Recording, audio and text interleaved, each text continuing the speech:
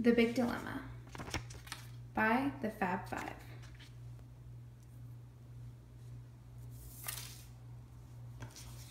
Ryan, a college student at USF St. Pete, decided to open up an amazing business called Cookies After Dark, a cookie delivery service that provided cookies to hungry college students. He joined forces with his roommate Michael and John. Together, they were making cookies and providing them to students. Their business was doing so well that Michael and John thought, hey, why don't we expand to UF and FSU?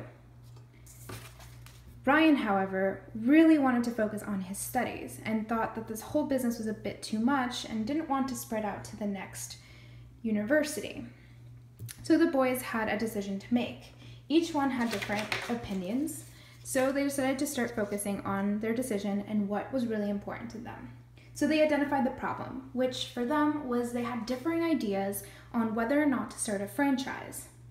They decided to see what was the relevant criteria for Ryan, it was he wanted to go to university and focus on school.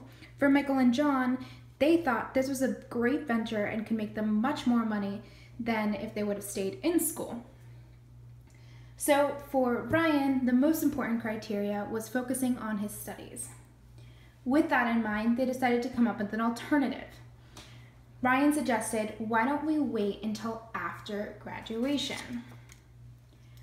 The boys thought, hmm, I mean, maybe. So they decided to create an analysis of the alternative.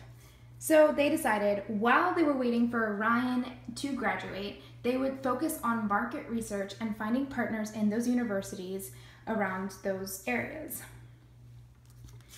So the boys were able to come up with a more effective decision making strategy. However, Michael and Ryan were still not happy. So we'll see what happens.